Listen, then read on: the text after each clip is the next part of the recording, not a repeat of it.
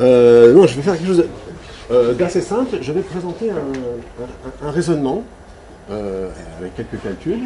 Je vais expliquer en quoi ce raisonnement me semble avoir du sens et tenir. Mais je ne répondrai pas à, toutes les objections qui, ont été formulées par Jacques. il me faudrait beaucoup plus d'un quart d'heure pour ça. D'abord, je n'ai pas, pas des réponses à toutes parce que je suis d'accord avec un certain nombre de choses qu'il a dit. donc, le, le, titre du, le, titre, c'était euh, Bitcoin ou dollar, chacun son sale coût. C'était un titre suggéré par euh, Jacques. J'en ai rajouté un autre. Le coût en électricité du, Bitcoin à hauteur du M1 du dollar. Je vais expliquer ce que ça veut dire. Alors, euh, effectivement, je, suis d'accord sur le point qu'aujourd'hui, il y a une discussion entre deux, évaluations du, coût électrique, qui est celle de DigiEconomist et puis celle de Marc Bévan. Donc j'ai discuté avec Marc Bévan, je lui ai fait relire l'article, il, a pu euh, contester certains chiffres, et j'ai d'ailleurs effectivement fait une correction dans la première version de, l'article, c'est peut-être pas euh, finalement sur, le, site du blog, j'ai euh, cessé de dire qu'il était intéressé. Que, voilà. Donc je, je, ne dis plus ni que, DJ Économiste est partisan, ni que lui est partisan. J'ai remis les choses à plat. Mais effectivement, ils sont un peu dans deux camps euh, opposés. Euh, alors, euh, la, dépense annuelle d'électricité du ménage serait, d'après DJ Economist, de 29 TWh par an. Donc, on va parler tout le temps de, de TWh par an, c'est-à-dire la consommation annuelle du ménage. Euh, ça ferait 6% de la consommation annuelle et ce serait l'équivalent de plus de, 3 euh, centrales nucléaires. Mais je ne vais pas utiliser ces chiffres-là. Moi, je vais recalculer mes, chiffres dans la, démonstration ou le, calcul que je vais vous proposer. Alors, Marc Bévan, lui, il, voit, euh, il fait une analyse qui n'est pas à, base d'économique, de, de, coûts et de, de rapports, ce type d'analyse que je vais présenter, lui fait une, analyse qui est beaucoup plus proche des euh, puces ASIC, de leur coût électrique, etc. Mais euh, il faut dire quelque chose, aucune des analyses qu'on peut faire du coût économique ne peut être vraiment précise, puisqu'on ne sait pas, si on suit Marc Bévan, combien il y a aujourd'hui de puces ASIC de tel type qui dépensent tant, etc. Donc on connaît avec précision le, le hash rate, ça il n'y a aucun problème, mais combien parmi les puces ASIC qui euh, minent euh, ce HRAC euh, coûte en électricité, c'est impossible à savoir. Et Marc Bévan, il a beau faire un calcul le plus précis possible, il n'arrive pas non plus à avoir des chiffres précis, et c'est pour ça d'ailleurs qu'il donne un, écart. Donc, Marc Bévan ne conteste pas finalement les chiffres que je lui attribue, où j'ai un peu simplifié les choses, lui donne un, intervalle. Moi, je dis, en gros, il arrive à des chiffres qui sont deux fois inférieurs à ceux de Digiconomist. Alors, moi, je vais faire le, calcul et je vais vous expliquer où est-ce que l'écart entre Marc Bévan et le Digiconomist apparaît. Et je, vais m'amuser à, quelque chose, je vais m'amuser à euh, imaginer que le cours du Bitcoin continue à monter. Il y a beaucoup de gens ici peut-être qui le sont. Et puis, euh, on, va imaginer que donc, ceux qui ont créé le Bitcoin, finalement, ont pleinement réussi et qu'il y a autant de valeurs qui circulent en Bitcoin qu'il y a de dollars qui circulent euh, sur, euh, sous la forme de billets, de pièces et de comptes courants. Donc, c'est ce qu'on appelle le M1 du dollar, qui est de 3600 milliards de dollars. En 2016, il est un peu, élevé, un peu plus élevé aujourd'hui peut-être. Euh, les bitcoins qui circulent, euh, aujourd'hui, il y en a 16, 16 500 000 de poussière. Euh, de toute façon, c'est des calculs approximatifs, on est bien d'accord. Donc, combien devrait valoir le bitcoin pour qu'il y ait autant de valeurs qui circulent en bitcoin que de valeurs qui circulent en dollars et sur les comptes à vue pas compliqué, il faut faire une division. La division, vous l'avez, vous pouvez la vérifier. Il faudrait que le bitcoin vaille à peu près 200 000 dollars. Pourquoi pas hein. il, est bien passé. La première fois qu'il a été coté, le, Bitcoin a été coté à euh, un dixième de, de cents, un, millième de dollars. son cours a été multiplié par 1000, il a été encore multiplié par 1000 une deuxième fois, puisqu'il est arrivé à 1000 dollars, et aujourd'hui il est à 8000. Pourquoi pas Pourquoi pas donc il n'y a pas d'impossibilité. Donc je, m'intéresse à cette, euh, à, cette valeur. Euh, alors, dans un premier temps, mais j'essaie d'être un peu rigoureux dans mon raisonnement, je vais omettre les halvings. Donc ce que je dis, c'est valable uniquement pour les deux ans qui viennent. Et puis, quand on voudra prendre en compte les halvings, il faudra faire une division par deux, etc. Plusieurs, fois éventuellement. donc si le Bitcoin vaut 220 000 dollars, combien gagnent les mineurs par an? Sans compter les commissions, j'en reviendrai après, pour l'instant je les néglige aussi. Je précise bien les hypothèses de raisonnement. Ben, c'est pas compliqué, 220 000 multiplié par 12,5 toutes les 10 minutes, multiplié par 6 parce qu'il y a 6 fois 10 minutes dans une heure, je ne pense pas me tromper, il y a 24 heures dans une journée, multiplié par 24, multiplié par 365, ça fait approximativement 150 milliards de dollars. J'ai arrondi les chiffres, de toute façon on n'est pas dans un domaine où les choses se mesurent au pourcent. Alors, il y a une question, euh, un, principe qui est, très simple, mais, qu'il faut euh, comprendre, c'est que les mineurs, s'ils gagnent 150 milliards de dollars, ils sont prêts à dépenser pour miner, c'est-à-dire pour acheter du matériel, pour payer les, infrastructures, pour payer l'électricité, ils sont prêts à dépenser jusqu'à 150 milliards. Un peu moins, sinon il n'y a pas de bénéfice. Mais en ordre de grandeur, ils seraient prêts à dépenser jusqu'à 150 euh, milliards de dollars. C'est une, simple question. Euh, tu n'es pas d'accord? En théorie, oui, mais tu pourrais dire ça des boulangers. Tu as, un village, tu as deux boulangers, ils vendent le pain à un euro. Par plaisir d'appliquer les règles de l'économie libérale, chacun peut aller jusqu'à dépenser 99 centimes pour vendre ses, baguettes à 1 euro. C'est très bien alors, les boulangers, ils font... D'accord, mais alors, euh, remplaçons le 150 par 140. Non mais c'est voilà, on n'est pas dans. Tu à, pas le coût de. à, partir du moment, à, partir du moment où il y a un gain, et qu'il y a une compétition qui est féroce entre les, mineurs, ils n'iront pas jusqu'à 150, mais ils iront jusqu'à 140 sans aucun problème. Sauf en France, la vente à perte est interdite. Pardon? Sauf en France, la vente à perte est interdite. Ouais, ça c'est encore autre chose. Mais là, je n'ai pas dit qu'ils allaient jusqu'à 160. Alors, il y, a un autre paramètre qu'il faut discuter, parce qu'il est vraiment très important dans cette histoire-là, c'est quelle est la proportion d'argent dépensé par les mineurs qui est consacrée à l'électricité. Et alors là-dessus, Digiconomiste et Marc Bévan ne sont pas d'accord. Euh, Marc dit qu'il faut évaluer ça à 30%, euh, et euh, Digiconomiste, il, calcule euh, plutôt avec 60%. Donc il y a cette différence de 1 à 2 entre les deux qui provient justement de cette évaluation.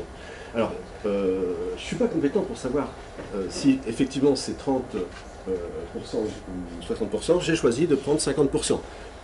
Mais souvenons-nous qu'effectivement, il y a cette, discussion qui, fait l'écart entre euh, l'évaluation, euh, on va dire, optimiste et l'évaluation pessimiste. Euh, optimiste, c'est celle de Marc Bévan. Donc, ça signifierait, quand le, quand le Bitcoin arrive à hauteur du dollar, qu'il vaut 75, qu'il y a 75 milliards de dollars qui est dépensé en électricité. 70 si vous préférez, euh, garder un bénéfice pour les mineurs. Euh, alors, autre paramètre qui est délicat, mais sur lequel Marc, Bévan euh, accepte le, 0,05 dollars par kilowattheure, peut-être qu'il peut être acheté moins cher. Aujourd'hui, en France, c'est 12 centimes le kilowattheure. donc, là, on l'évalue moins cher parce qu'effectivement, les mineurs se placent dans des endroits où l'électricité est moins chère on ne leur donne pas quand même. Donc il avait moins cher. Donc 0,5, c'est moins de la moitié du coût qu'on paye l'électricité en France. Ce n'est pas une, évaluation scandaleuse et Marc Bévan accepte cette, évaluation-là. Euh, ce, qui signifie, c'est pareil, là c'est juste une question de, division, vous pouvez vérifier tous les, calculs et noter, qu'il y aura 1500 TWh dépensés pour faire, fonctionner cette compétition entre les mineurs pour se faire attribuer les bitcoins créés. Alors il y a une remarque que je fais, parce que je pense que tu as quand même oublié de mentionner ça, c'est que euh, le, minage, il ne sert pas du tout, euh, quand on parle de, la consommation du minage, on ne parle pas du tout de la consommation du réseau euh, au, sens de l'échange des messages, des transactions sur le réseau et l'échange des pages pour que tout, le, réseau se coordonne. On parle uniquement de l'algorithme qui est utilisé, qui s'appelle preuve de, travail, je ne vous l'apprends pas, qui sert à déterminer celui des mineurs qui va se voir attribuer les 12,5 bitcoins. Donc, en fait, c'est juste cet, exercice d'attribution des, bitcoins gagnés qui coûte cette somme-là. Alors, il faut être honnête, ça a quand même une fonction.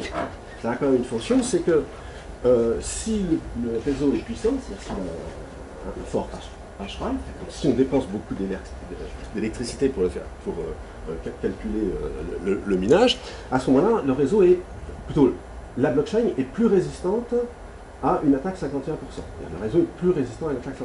Donc en fait, cette dépense d'électricité dont on parle, c'est pas celle du fonctionnement du réseau. C'est pour ça que je pense que c'est pas du tout pertinent de, parler de Lightning Network. Ça n'a rien à voir. Lightning Net- Network, c'est pour euh, augmenter la, puissance de, de- nombre, en, termes de nombre de transactions par seconde. Ça n'a rien à voir. Là, c'est le pro- et, euh, Lightning Network n'aura aucun effet sur les choses que, dont je suis en train de parler. D'accord, mais c'était juste pour dire que beaucoup euh, d'études se basent sur le fait de faire la règle de 3 de le- euh, une transaction. Oui, mais moi, je le fais pas. que- Moi, moi, je vous ça, parlerai pas du coût Sur d'une tes études, transaction. ça n'impacte pas. Oui, oui, Non, non, Sur tes études, ça n'impacte pas. Moi, d'accord. moi, moi, je ne ferai pas le coût d'une transaction. Oui, je ne vous parlerai pas du coût Mais ça d'une veut dire qu'on transaction. peut quand même démultiplier la fonction de- du Bitcoin qui sera utilisable par des millions, voire des milliards de personnes. Et dans ce cas-là, ce sera peut-être justifié d'avoir.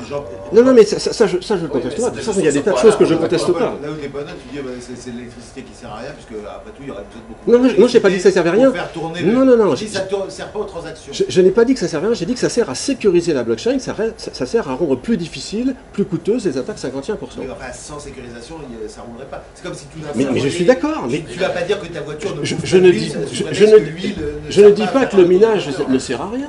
Je ne dis pas qu'il sert à rien. Je dis il sert à sécuriser la blockchain. Et voilà, son coût, c'est 180 centrales de cœur. Et j'ai une remarque. Partant C'est sûr, j'allais avoir des réactions. Partant de l'hypothèse que l'énergie verte est la moins chère. L'énergie verte est la moins chère. Ouais. c'est, euh, donc l'énergie solaire actuellement est la moins chère qu'on puisse faire. Quelle est la proportion de centrales nucléaires Ah non, mais moi, moi, je, je- Non, mais je- c'est une non, non, question mais que je vous pose. ah non, mais moi, je, je réponds pas à ces Vous questions-là. n'avez pas aucune idée de combien de centrales nucléaires Non, non, moi, moi- vertes moi- moi, ce que je- mon but, c'est de proposer un raisonnement. Après, vous pouvez euh, Non, discuter de l'énergie verte, etc., comment on peut Juste faire. si vous la réponse, apparemment. Non, non, mais moi, euh, si, si on peut remplacer les 180 cales du- euh, nucléaires par uniquement l'énergie verte, pourquoi pas? Sauf que moi, j'ai quand même euh, dans l'idée que, par exemple, l'industrie de l'aluminium, elle consomme beaucoup d'énergie. Donc elle est prête à payer cette énergie qui est, qui est pas, chère parce qu'elle est surproduite ou produite au, mau- au mauvais moment, elle est quand même sur le marché. Et donc elle est en concurrence avec les mineurs. Donc il ne faut pas dire que, l'énergie que consomment les mineurs est, euh, gratuite parce que euh, sinon, de toute façon, elle serait jetée. Oui, euh, bah t'as pas partout des fonderies. Le- la- Non, L'aluminium, non, mais- c'est particulier parce que tu peux pas l'arrêter, la cuve ne peut pas refroidir. Oui, d'accord, mais de l'industrie de l'aluminium est prête, à, partout. est, est- est- est prête à, à utiliser cette énergie parce qu'elle en a besoin, euh, que ce Là soit le jour ou la nuit, où ça prend est. besoin. Là, là où elle est, bien sûr. Là Bon, euh, mais, mais, euh, ça, ça fait pas partie de la transparence, cette discussion-là. Ce qui fait partie de mes transparences, c'est uniquement, voilà, je suis arrivé à ce, à- à- à ce chiffre-là. Alors maintenant, euh, bon, je vous montre ce, schéma-là qui vient de, de l'EDF. C'est juste pour, juste pour, pour, donner un, un- idée. Oui, oui. Je vous la question, peut-être ça va venir dans le raisonnement, mais est-ce que l'étude est basée à cost? Parce qu'à un moment donné, il y a un ratio entre l'énergie du secteur du Bitcoin ou Ether, par exemple par rapport à la valeur que ça génère. Non, moi, pour, pour l'instant, je, je, je- je parle que du Bitcoin. Après, je vais faire un autre raisonnement sur euh, euh, euh, Ethereum. Je, je parle que, du Bitcoin. Et, et- et comme j'ai pas beaucoup de temps, je préférais n'avoir à défendre que les arguments que je présente, pas les arguments que je présente pas.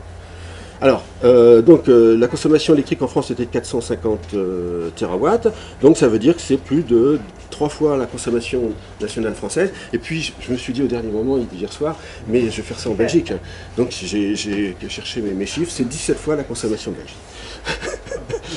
Alors, euh, on, arrive aussi à une conclusion, mais là, je ne vais pas du tout rentrer là-dedans, parce que c'est tellement sujet à, à discussion, c'est de savoir comment on pourrait comparer le, coût du Bitcoin et le coût du dollar? Qu'est-ce qu'il faut euh, inclure et pas inclure? Donc ça, je ne rentre pas là- là- là-dessus, mais euh, j'ai j'ai publié un, blog là-dessus.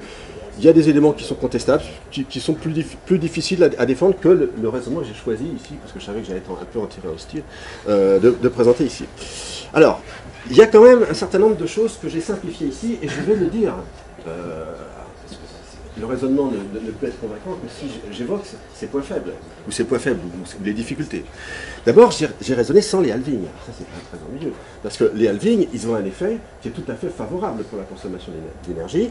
Dans deux ans, il y aura deux fois moins de bitcoins qui seront émis à chaque fois. Donc, en fait, le gain des, mineurs sera deux fois plus faible en nombre de bitcoins. Et euh, donc, pour atteindre le, le- le M1 du dollar, ils auront besoin d'avoir une valeur de deux fois moins. Donc là, on gagne un facteur 2. Bon, donc ça sera valable pendant 6 ans. Donc, au lieu de, de 150 euh, TWh, on aura euh, euh, plutôt, le, le- chiffre auquel j'étais arrivé de 1500 va être divisé par 2, et donc on arrivera à 750 TWh. Si on raisonne à échelle de 10 ans, pourquoi pas? Après tout, ça peut être dire, il ne faut pas que le cours du Bitcoin monte trop vite, puisqu'il y a ces halvings qui arrivent tous les 4 ans. Et donc à ce moment-là, on arrivera à 375 TWh, ça sera juste un petit peu moins que la consommation française. Alors, euh, il y a une autre euh, hy- hypothèse que, que j'ai faite, c'est sur la- le, le- coût euh, de, l'électricité. L'ai un, un petit peu évoqué. J'ai j'ai dit 0,05 dollars par kilowattheure. Si les mineurs doivent payer l'électricité plus cher, parce que justement elle vient à manquer tellement ils en consomment, à ce moment-là, ils vont en dépenser un peu moins. Donc on aura un peu moins de centrales nucléaires concernées. Mais ça, ça va jouer sur... voilà, on, on est dans un domaine où on ne peut pas être très précis. Ça va jouer sur quoi? Sur 20%, sur, sur 30%, mais ça ne va pas jouer de manière colossale. Ça ne va pas diviser les, les chiffres que- sur- euh, auxquels je suis arrivé par 10. Ça ne va pas les diviser par 10. Donc euh, cette variation du, du coût électrique ne va pas diviser les chiffres par 10. Maintenant, il y a un certain nombre de, de facteurs que je n'ai pas évoqués qui, eux, aggravent la situation. Je, je les ai mis en rouge. Ça, ça se voit pas trop. Euh, et donc, il y a- il y, a au moins trois facteurs qui aggravent la situation. Donc, j'ai parlé de ceux qui euh, faisaient diminuer la consommation. Maintenant, je vais parler de ceux qui, font augmenter la situation si on les introduit. D'abord, le, ra- le raisonnement n'a pas pris en, compte les commissions. Alors, ça, c'est vrai, je reconnais que c'est difficile de raisonner avec les commissions parce qu'elles sont vraiment imprévisibles. Comment seront les commissions dans six mois, dans un an? Euh, vu la façon dont elles ont varié récemment, c'est vraiment difficile de, faire des, prévisions. Aujourd'hui, les commissions sont d'ordre de 1 ou 2 bitcoins par, euh, comment, par 10 minutes. Donc, c'est pas 12,5, c'est euh, 13, 14. Bon, voilà. Euh, donc, ça augmente un peu. Mais c'est pareil, ça augmente de 10%. euh, si, on, les prend en compte telles qu'elles sont aujourd'hui. Comment elles seront dans, dans 5 ans j'en- j'en- ou dans 2 ans, j'en sais rien. Euh, donc voilà, ça c'est quelque chose. qui- Il y a autre chose qu'on n'a pas pris en compte qui, par contre, est peut-être plus grave, mais qui est aussi totalement impossible à, évaluer de manière précise. C'est, en fait, on dit il y a 1000, euh, 16 500 000 euh, bitcoins qui ont été émis. Oui, il y avait des tas qui, qui- qui ont, qui ont complètement disparu. Et en particulier ceux de Sa- de Satoshi Nakamoto qui sont sur un compte qui ne bouge pas, ben, c'est peut-être parce qu'il a perdu la clé. Euh.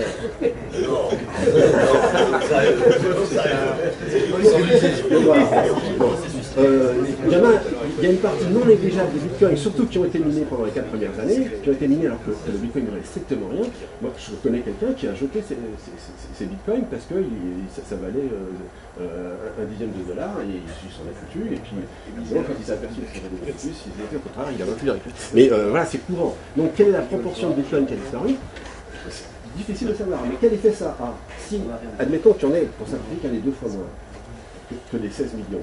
Bah, euh, pour atteindre le M1, il va falloir que le cours soit multiplié par 2 par rapport à ce que j'ai dit. Les 220 000 vont de- devenir 440 000. Euh, donc le gain va être multiplié par 2, et donc la consommation électrique que- auquel je vais aboutir va être multipliée par 2. D'accord? J'évoque simplement cette, idée-là. Euh, alors, il y a autre chose aussi. J'ai pris le, dollar, mais si vraiment le bitcoin devient une monnaie universelle, il faut prendre aussi l'euro et puis d'autres monnaies. Alors là, il faudra encore multiplier par 2 ou par 3 si on veut euh, égaler euh, les, monnaies fiduciaires qui circulent aujourd'hui et qui font que les gens disposent de suffisamment d'argent pour faire les, achats et les ventes qu'ils veulent faire. Euh, donc, euh, j'arrive euh, très vite à ma conclusion. Moi, je pense qu'incontestablement, il y a un problème de consommation, et mon raisonnement, je l'avais bien remarqué, il fait intervenir très peu d'éléments. Hein, j'ai- très très peu d'éléments. Vous, pouvez dire ceux, que vous contestez, mais ils en font intervenir très peu. Donc, moi, je pense qu'il n'y a aucun doute qu'il y a un problème de consommation électrique qui doit être envisagé sérieusement. Alors, c'est quoi les solutions? La- si le passage à la preuve d'enjeu pouvait marcher bien, donc si Ethereum réussit, euh, c'est ce qu'il est sur le point de commencer, bah, moi je serais le premier réjoui, euh, et il faudra que Bitcoin euh, fasse la même chose. Mais cette histoire de passage à la preuve d'enjeu rencontre deux difficultés. Euh, le problème 1, que tu as évoqué, Jacques, c'est qu'il y a des gens qui pensent qu'il n'y a rien d'autre de mieux que la, preuve de travail, et que les autres choses, c'est des illusions qui seront attaquables par des attaques civiles ou autre chose. Et euh, en particulier, il y a quelqu'un qui, euh, qui, n'est pas tout à fait n'importe qui, c'est Paul Stork, euh, qui est économiste là, dans la société blog de Jeff Garzik, c'est pas n'importe qui ces gens-là, euh, qui a écrit un blog dans lequel il, a défendu l'idée. Alors, il faut le, faut le lire pour, pour voir. C'est effectivement l'histoire d'attaques civiles, un peu sophistiquées sur les profs d'enjeux, etc. Euh, qui rien n'est moins cher que la preuve euh, de travail. Et donc, c'est pas la peine d'espérer remplacer la preuve de travail par autre chose, d'après certaines personnes. Moi, j'ai pas d'avis arrêté là-dessus. J'espère que c'est pas, pas vrai. On peut remplacer la preuve euh, de travail par autre chose. Et puis, deuxième problème, mais ça vous le savez bien, la gouvernance du Bitcoin est aujourd'hui euh, un peu difficile pour les évolutions importantes. Et je ne sais pas qui peut imaginer, dans un avenir proche, que la communauté se mette d'accord pour changer la preuve de travail par une preuve d'enjeu, si la preuve d'enjeu se révèle être bonne. La- Bon, c'est tellement simple de travailler sur la taille des blocs que. Bon, bah, peut- peut-être, mais moi- moi, D'ailleurs, c'est pareil. gouvernance, mais j'ai envie de dire quelle gouvernance? Voilà. Non, mais si- si- si, euh, S'il y a une vraie raison pour changer la chose. S'il y a une vraie raison, peut-être que les mineurs seront d'accord et qu'ils accepteront. Sauf que les mineurs, il faut quand même investir dans des asiques, des, des- des bâtiments, etc. Ils vont pas- peut-être pas avoir envie de renoncer à leur investissement du jour au lendemain. Donc voilà. Euh, alors oui, petite remarque comme ça pour terminer, juste, puisque j'ai commencé la provocation, je, je finis. Euh, Il y a quand même quelqu'un qui a une, une grande réputation, qui s'appelle euh, Adi Shamir, c'est le S quand même de, du RSA, hein, la de photographie du RSA, qui pense que le Bitcoin ne tiendra pas. Il a fait 15 prédictions, euh, et parmi ces 15 prédictions, il y a le fait que le Bitcoin ne pas, mais c'est plutôt à cause de- des signatures euh, à, base de courbes elliptiques, son- objection, je pense. Et voilà, euh, 180 centrales électriques.